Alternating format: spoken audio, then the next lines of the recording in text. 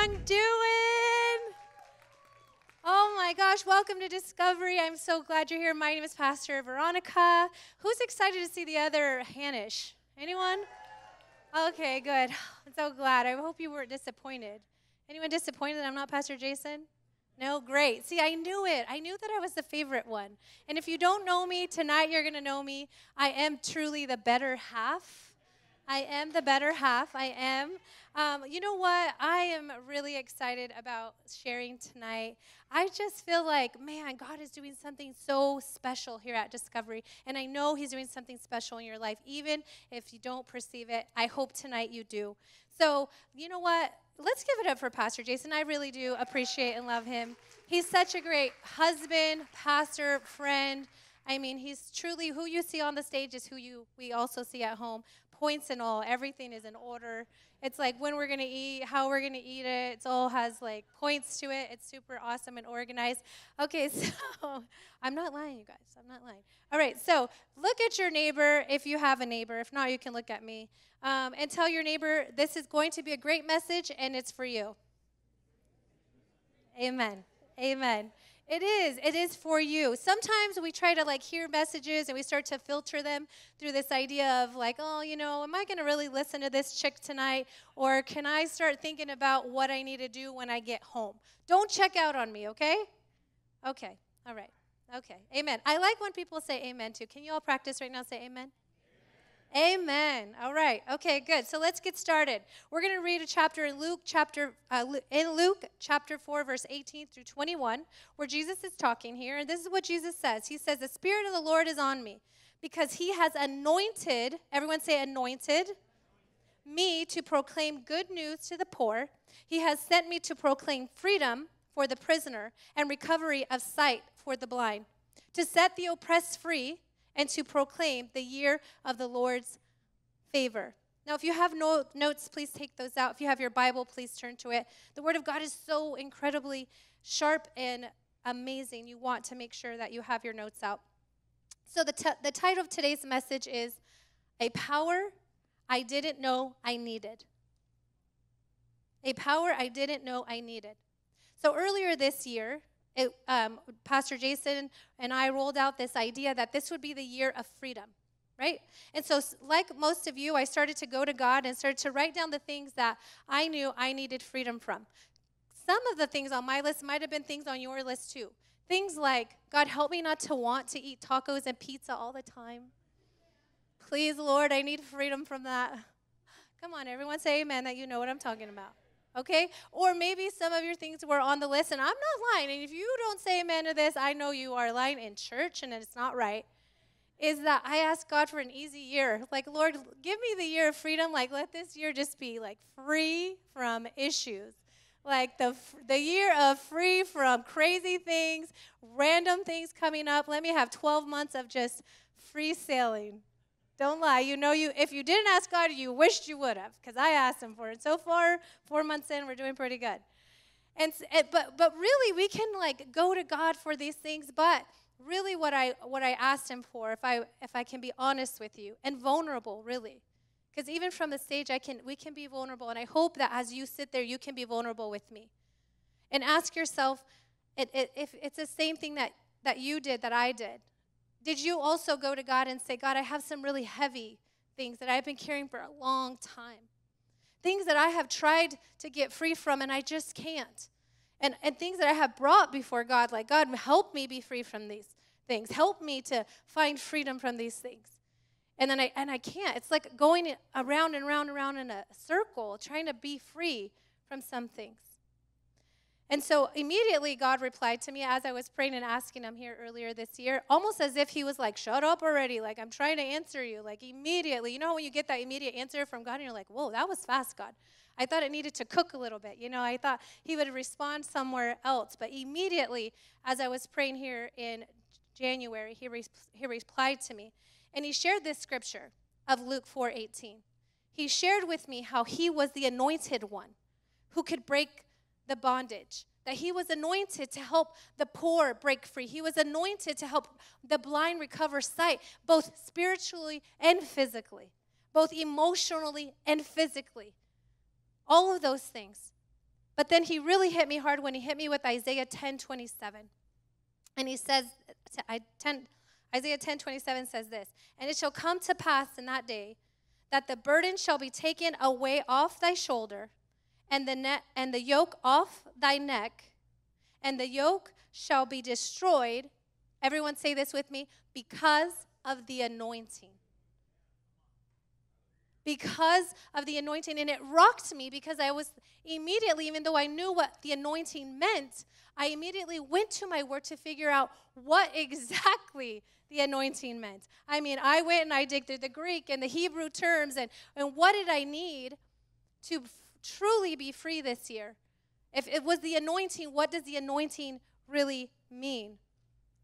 Now, what we hear God saying is that because of the anointing, our burden lifts and our bondage is broken. So we hear that if that God says, because of the anointing, our burden is lifted and our bondage is broken. Because of the anointing, our burden is broken, our burden is lifted, and our bondage is broken. I'm going to say it one more time, just in case you didn't hear me. Because of the anointing, our burden is lifted and our bondage is broken. Because of the anointing, our burden is lifted and our bondage is broken. Yes, please. Let's give let's give an applause to God because uh, because of his anointing, because of the anointing, our bondage can be lifted. Our burden can go. It can be broken. We don't have to live with the things that we continue to go around the mountain with. So if you started the year off, the year of freedom, and you played with what you asked God for, or maybe you didn't even dare ask Him because it was too hard to even go there. I want you to revisit that conversation again. It's not too late. We still have nine months to go, or a few months. I don't know math very well. it's not too late to ask Him. I believe that God wants to tell you what He told me that day that He doesn't want you to just live in freedom this year. He wants you to live in a victorious anointing that He has on your life. Yes, amen? Amen. Say amen as you receive it. That He wants you to walk not just in freedom, but He wants you to walk in, in a victorious anointing that He has over your life. Amen? Amen. Thank you so much. I love those amens. So here we see that Jesus says that there's a power available for us, and it's called the anointing. So, before I explain to you more about what the anointing is, first let me be very clear about what the anointing is not. Because we often hear messages or podcasts or sermons, which, by the way, be very careful on what you're listening to. Be very careful, sheep of the house of discovery. Be careful what podcasts, be careful what websites you're looking things up because it's very, very confusing in a world that is that is very distorted and it, it will lead you th- to do and think things that are not God's word or God's truth. So let me be clear to you what the anointing is not. The anointing is not a religious act. It is not a religious act. The anointing is not something that happens on Sunday from 8 a.m. to 11 a.m. and you have to wear white and it's only for leaders and it's something where you stand on your head and you do these little like you know these weird hand movements or anything like that. That's not what the anointing is. It's not some religious act. Secondly it is not a talent. It is not a talent. It's it's not a supernatural talent that helps people sing like whitney houston. Amen? Amen? Because there are plenty of people singing in cruise ships and in nightclubs that sound just like her and they do not have the anointing they do not have the anointing. It isn't the power to just have a great message and get on a stage or get it behind a microphone and have a talent. It is not the anointing. Do not confuse that and do not allow the world to confuse you between the anointing and the talent. It is not that cheap in Jesus' name. The third thing is is that the anointing is not permanent. If you walk away from God, guess what? You lose the power indwelling in you. That's it, period. If you want the anointing, you keep God in you. If you want to walk away out of disobedience and rebellion, if out of pride, if following your own way suits you better than following God's way, you will lose your anointing. It's not that God will rip it from you, it's not that He will take it from you. There's, there's, there's, there's Old Testament stories that talk about the anointing leaving people, but it wasn't because God just said, you know what, I want it now, now, now you don't have it, now you have it, now you don't. It's not like He's flipping on a switch on and off in your life. No, He is saying that there is a power indwelling in you. Why would you walk away in disobedience to God's ways in your life? Why would you choose to walk away from it? Those examples that are in the Bible are not because God just chose to flip something on and off in someone's life. But it was because someone chose disobedience, chose to do things their way, not God's way. Amen? Amen. Sorry, I might offend you today. I am the one that will offend you. The Hanash that will offend you. Pastor Jason will not. I will. Okay? You're welcome. Okay. So, lastly, the anointing is not just for certain people. It is not just for certain people. It isn't. I love the anointing is for everyone. It is for every person, no matter what you do. If you are in first impressions, the anointing is on you, and you can have an anointing there. If you are in the kids' ministry, that's the most anointing, I would say. I would say if you serve in the kids' ministry, God loves you a little bit more than anybody else. That's just my saying. It's not the Bible, so don't get confused. But I do believe, I do believe the word is very clear that there is not a special anointing because you stand behind a microphone. It is not special anointing to stand on a stage, that there is an anointing to do every part of your life, whether it is mothering or going to, um, you know, pick someone up to give them a ride to the church. There is an anointing in what God is calling you to do. Okay, so now that we know what the anointing is not, amen. Everyone say amen. You guys are tracking? Okay. Now let's talk about what the anointing is. So here's my definition according to God's truth. The anointing is the power and the presence of God in your life. Amen. It is the power and the presence of God in your life. If you want more of the power and the presence of God in your life, say amen. Amen. We all want and desire to have a greater anointing. We all want and desire to have a greater level of freedom, a greater level of freedom for our family, a greater level of freedom for those people that we love, for the things that are in our hand, for the responsibility and the things that we have. Well, guess how you get that anointing? By having the power and the presence of God in your life. And you can have different measures of that. You can have different closenesses, closeness to God in that. But guess who chooses that? You do. You get to choose that. So when we ask God, God, give me more, give me more of this anointing, it's like asking Him for something that isn't. it's like plugging your vacuum cleaner and say, man, I hope this, or not plugging in your vacuum cleaner and then trying to vacuum without it being plugged in. It's like saying, man, I hope this can go on turbo, and you start like clicking the little buttons. You know, have you ever done that? You're like, man, what button is it on? Because you, you know, the little thing rubbed off on your vacuum cleaner. You don't remember if it's on carpet or the floor, and you're like, which one is it? And you're like, God, I want to go on turbo. And you're trying to press the button and you're like, God, I want more. And you're trying to turn your vacuum cleaner on, but it's not even plugged in. You're not even connected to Him. You're trying to use things in your life that He's given you as gifts. You're trying to be a better father, a better mother. You're trying to get free. You're trying to be healed. And He wants all that for you, but you're not even plugged into Him. Come on. Amen? Amen. I like you guys. All right, Acts 10 38 says, God anointed Jesus of Nazareth with the Holy Spirit and power. And he went around doing good. Everyone say, doing good. And healing. Say, healing. All where were, and, oh, sorry, all who were under the power of the devil because God was with him. It is a power we need.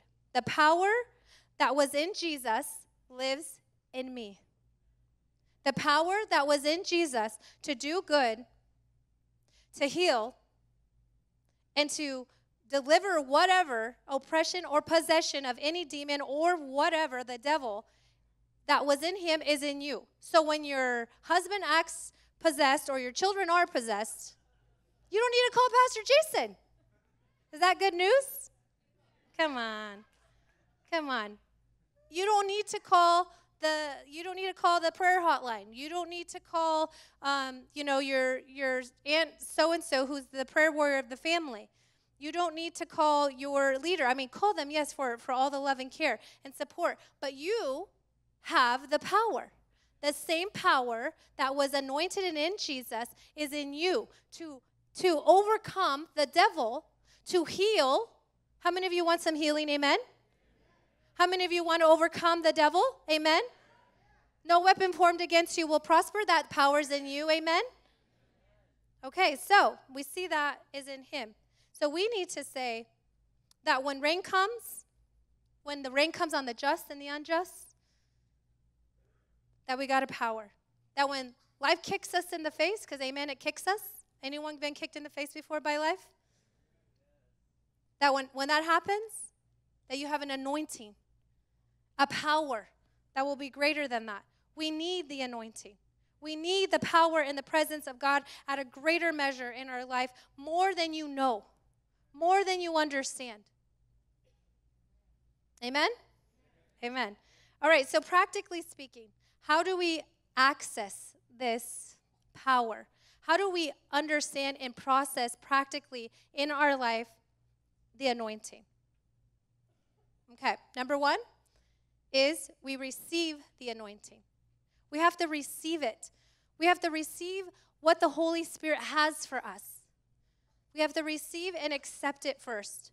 1 Corinthians 1 21 through 22 says, And it is God who establishes us with you in Christ, and has anointed us, and who has also put his seal on us, and given us his spirit, um, our, his spirit in our hearts as a guarantee guarantee. Everyone ever, ever heard that before? I forget what movie that is quoted in, Pastor Jason. Um, guaranteed. You, you have a guarantee in your life of this anointing. It, all you have to do is receive it. It's something that is freely given to you. It's because Jesus, it is because of Jesus that we have the Holy Spirit, not because of a talent or a gift. You don't, you don't have an anointing in your life because you did something to deserve it, but because you accepted it. Amen? Amen. I like amens. Remember that. All right, and then First John 2 20 says, But we have been anointed by the Holy One, and you have and you have all knowledge. So here is the good news that you have been anointed by Christ. And have you received it? Is the question that we need to ask ourselves. Have we received it? If you have been anointed with this power, think about it the power to heal, the power to be able to walk in the fullness of everything God has for your life. Have you accepted it? Have you received it? The second thing is we need to grow in our anointing because maybe you've accepted it. Maybe you've said, Yes, God, like I want the fullness. I, I'm walking in obedience in my life. I want everything you have for me. But there's this growing part that stunts you. How do I grow my anointing? I'll tell you what, it's not by just listening to more podcasts. it's not by doing more good things. It's not enough for us to just receive the anointing. We actually have to grow the anointing, increase the increasing power and presence of the Holy Spirit in our life.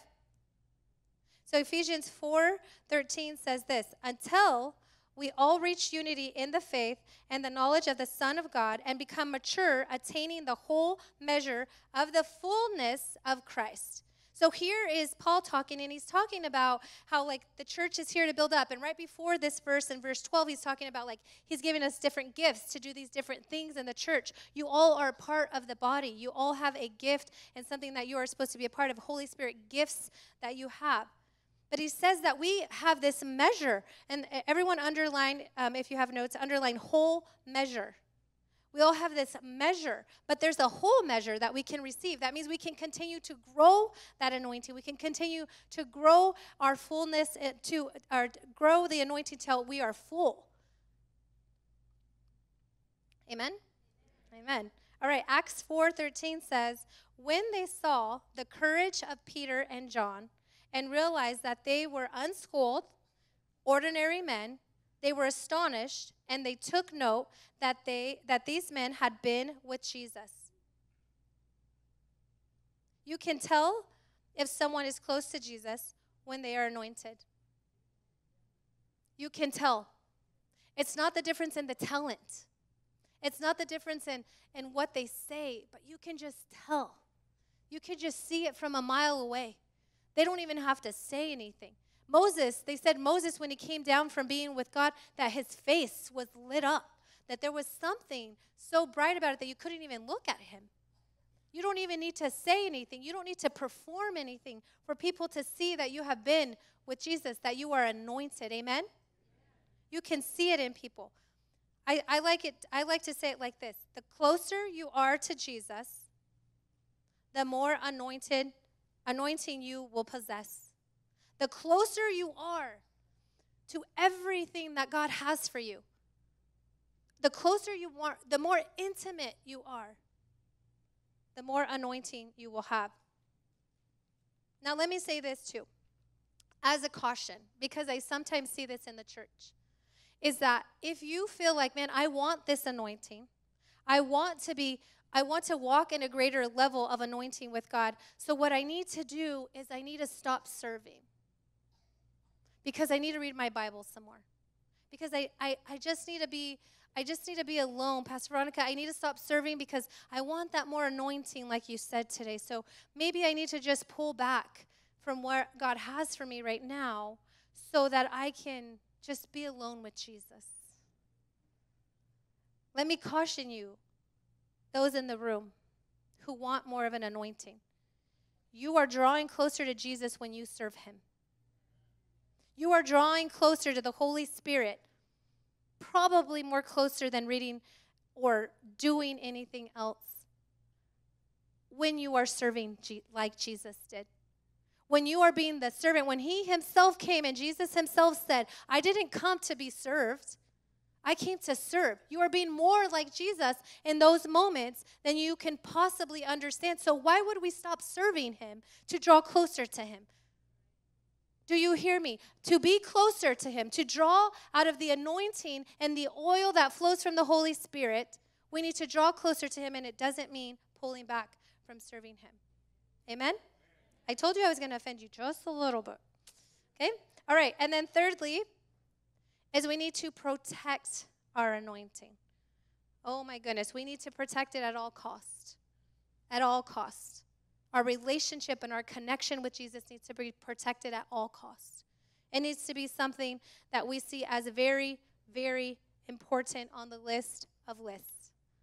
In the Old Testament, we see Saul, who was king, and he was loving God and, and doing the things God placed him as king over the, you know over Israel and he was the king. But then he did something he wasn't supposed to do. Saul went and he took things out of the you know they were at war and Saul God told Saul don't take anything, leave all that stuff there, make sure you just kill everything and leave. Nope. That's not what he did.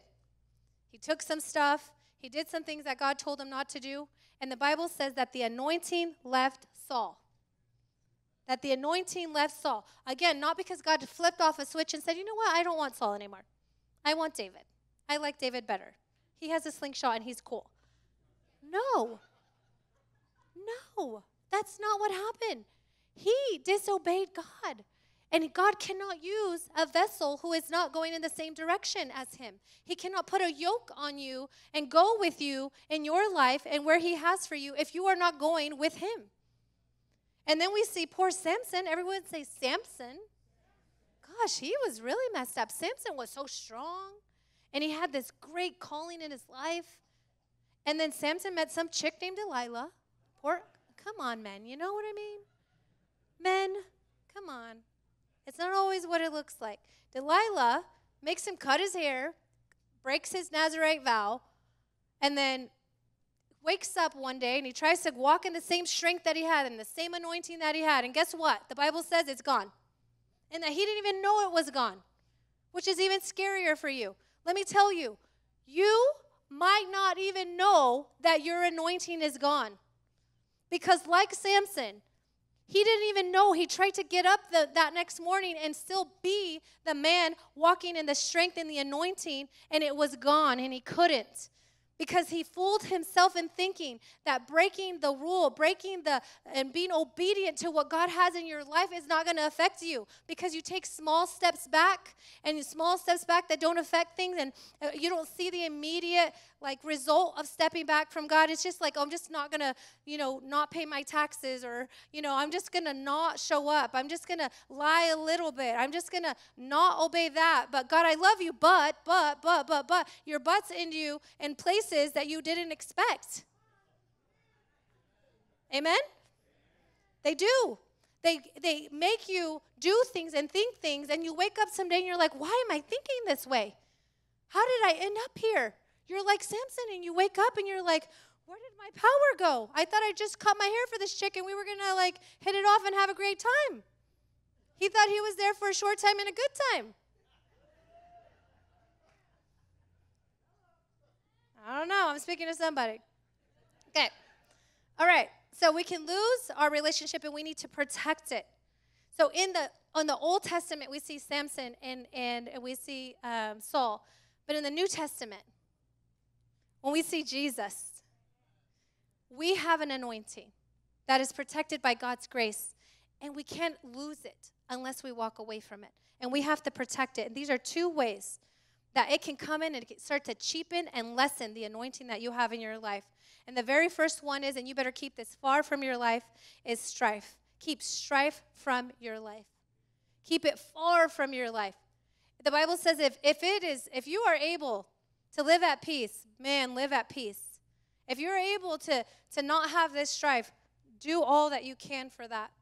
Here in 1 Corinthians 3 3, Paul is saying, You are still worldly. Paul is talking to the church. He is not talking to the outreach group on Union. He is not talking to the person who does not love or know Jesus. He is talking to you, my friends. He is talking to us. And he is saying, You are still worldly, since there is jealousy and quarreling among you. Are you not worldly? Are you not acting like mere humans? You are not operating in the power that you have if you are being worldly, meaning you are doing things your way. You are doing things that you you think should be the right decision. Like God, I know that you tell me that you know what that I shouldn't sleep with my girlfriend, but I know that you said that I should should serve you, but I, I really am in a season that's kind of busy. So if I can put you on hold, or or or or God, you know, Lord, I love you, but I hate my neighbor. I hate my sister. I can't stand my mother in law. You cannot have both of those things. You cannot have the anointing of God and then not protect it because you have strife in your life. You cannot hate your mother in law and then have the anointing at church. You cannot be mad and call the police on your neighbors every other day and egg their house. I don't know. Does people egg houses still? I don't know. I used to do that when I was a teenager. I, um, I shouldn't have said that out loud. Okay. All right. Anyway, but you cannot. Amen? Amen. The second thing is we need to guard our thoughts. Everyone say guard your thoughts. Proverbs 4:23 says this, more than anything you guard, protect your mind, for it for, for life flows from it. Protecting what you think is protecting what you believe. Let me say that again. Protecting what you think is protecting what you believe. We need to protect what we think by protecting what we believe. If we start to begin to believe the thoughts that we think, then we will be, be far and stray very, very far from our anointing. We will not be protecting it. We need to protect what we think.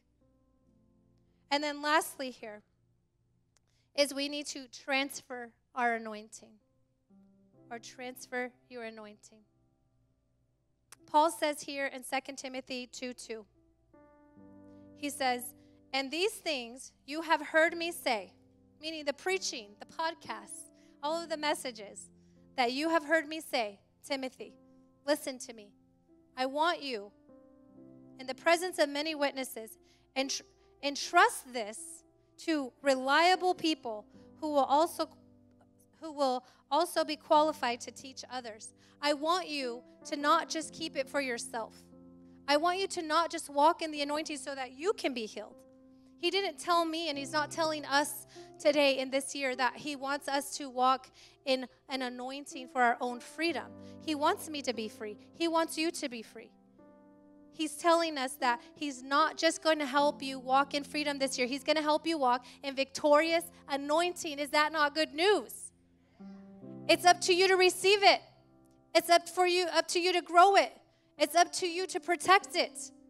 And then it's very important for us to release it and transfer it to other people. I'll tell you why. Everyone say this and even write this down if you need to write it down. Right? I am a temp. You're a temp. Everyone know what a temp is? Ever seen The Office? You're Ryan. You're Ryan on The Office. This is what you are. You are a temp. You are temporarily here. You are a temp at your job. If you're the owner of a business and you thought, oh, this is my business, I started this business, it's all about me carrying the load of this business. No, I'm sorry. You are a temp. You are an owner that is temporary. You are a supervisor that is temporary. I am a pastor that is temporary. We are about to build a new building, and me and Pastor Jason will spend less time there than the next pastor will. They will, they will spend more time in a building that we will sacrifice for and build than we will. We are only temporary. We're the temp pastors. You're the temp at your job. You're the temporary mom. You're the temporary dad. You're just a temp. We are made to not just walk in the anointing for our own freedom, but we're made to transfer this anointing to the other people around us because when we are gone, if we did not transfer it, guess what happens? The gospel dies. It dies with you, it dies with me if I do not transfer that gospel, if I do not tell someone else about the good news and, and, and do what, what happens here in Exodus. Let me show you this because it's so, so good. So good. Exodus 30, 22 through 32.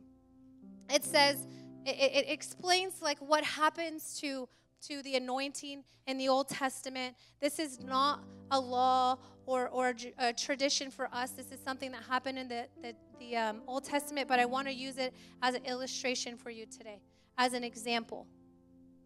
Here it describes so incredibly like specific, down to like how much of what needs to be used. It's kind of like the ingredients to the recipe. How many of you like cooking? Raise your hand. How many of you follow the recipe to the T? Okay, that's great. I don't. I don't. So I'm just going to list the things really quick that it lists here in Exodus on how to make this oil. It's talking about this oil and how it, it is used in the Old Testament to anoint things. Okay? So in Exodus um, chapter 30, verse 22, it starts and it says, okay, you're going to use fine spices, you're going to use liquid myrrh, you're going to use fragrant cinnamon, you're going to use some cassia, and then you know what? You're going to put six quarts of olive oil, about a gallon and a half of olive oil. So a big jug of oil. This is how you're going to make it. And then in verse 26, it says, then you're going to mark these things. And you're going to get this oil, and you're going to mark the tent, and then you're going to mark the ark of the, the law, then you're going to mark the, the table you're going to mark the articles. You're going to mark the lampstand. You're going to mark the, you know, the accessories at the altar. You're going to mark the utensils. Are you kidding me? They like anointed the fork and the knife. You know, they anointed the basin that that and with its stand. They anointed these things. And some of you are marked. And you feel good with that. I'm marked. I have the Holy Spirit. I'm to you're to be in heaven. You love Jesus, you're marked. You have that Holy Spirit. You're like these holy things. And, and, and, and you're set apart and you're marked. But then it goes into verse 30, and it says that then they take, uh, um, then they said, Anoint Aaron and his sons and consecrate them so that they may serve me as priests. Say to the Israelites, this is to be my sacred anointed oil for generations to come. Do not pour it on any, anybody else. Now he's saying, again, this is something in the Old Testament. He's saying, don't, don't do this to anybody else. This is a sacred thing that I do. This is for the, the Levite priest. But guess who he now calls the priest? Who does he call the priest? Does he call Pastor Jason the priest? Does he call Pastor Sean and Pastor Brennan because he leads worship the priest?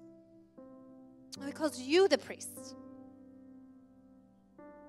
You now in the New Testament, you now and under the Christ, under the, the precious blood of Jesus, under the Christ the Messiah who came and saved you, he calls you the priest. You are the priest. And what he wants the he wants to happen here is he says, This is for you, this is holy. And he says, Do not make any other oil using the same formula. It is sacred. And it is to be it is and you are considered you are to consider it sacred. You are sacred. You are a royal priesthood. You are a holy people. You are special. You are carrying in you the gospel of Jesus. In you, there is power to heal, to recover sight to the blind, to help your family when they're in need, to overcome any devil and any lie. Amen? So, I want to show you an example of how me and Pastor Jason are transferring our anointing. We have um, Cooper, who is going to come up here with me and help me out. Where's Cooper at? He's coming. Cooper's coming. And every I have chosen a person to do this to every service. Everyone say amen if you weren't the one I asked because you don't have to do this. Cooper, let's give it up for Cooper. Cooper. Thank you, Cooper. Um, I asked Cooper, and I asked someone for each service who I know is called, who I know loves God, and he loves God's church. As a matter of fact, his grandfather, is your grandfather here? He's not. So his grandfather, Wayne Mead, was a pastor of a church. And I believe that Cooper someday will be a pastor of a church. He's, a, he's in, he serves on our young adult team, and he loves God's church. If I just walk in my anointing all day long, for as long as I live in my temporary job, and don't understand that I need Cooper and that I need to transfer this anointing to him and that I need to make sure that he understands it and walks in it so that when I'm not around, he can be here for that church. And he can be there for your grandchildren and your great grandchildren as well. So, what we're going to do is, I'm going to not only show you the physical illustration of what happens, but I'm actually going to anoint him for real. We're going to pray over him in his calling. And what, and what the priests would do, what, the, what they would do is they would dump a gallon and a half of anointing oil on them. Now I gave I gave him the option to um, put a poncho on, but he's like, no, give it to me all. So he's gonna get the full measure, the full measure of the anointing, the full measure of what God has for his life. As I pray over him, and Pastor Jason and I anoint him, and he pours the oil. Help me pray for Cooper. Help me transfer the same anointing that is in you to him so that he can help us carry on the gospel. So stretch your hands towards Cooper and help me pray. Father, we bless Cooper in the name of Jesus. We ask, Lord, that you would anoint him right now with your Holy Spirit's full measure, that God, he would see himself as a priest of your house, that he would not he would not hold back, that he would not be afraid, that he would not not for one more day stay in a place of complacency, God, but he would see that it is an urgent matter to share, that it is a time for him to be bold and to be strong to a generation that needs you, God. That he would use his voice to speak your truth, God that you anoint him as you did priests for centuries, God. That this in our day, in our time, this would be what the anointing looks at. It looks like Pastor Jason and I pouring out the oil that you gave us, God, to a generation to come so that the gospel does not die with us, so that it does not die with Cooper, because Cooper will see this moment and he will do it with someone else in Jesus' name someday. So you don't need me you don't need me to pour two gallons, almost two gallons of oil on you for you to be anointed. But what I'm going to ask you to do is a little something different than we normally do. I'm going to ask you to stand while we pray. I know that's uncomfortable and you're all sighing, and that means you don't really love Jesus. But anyway. But I'm going to pray with you.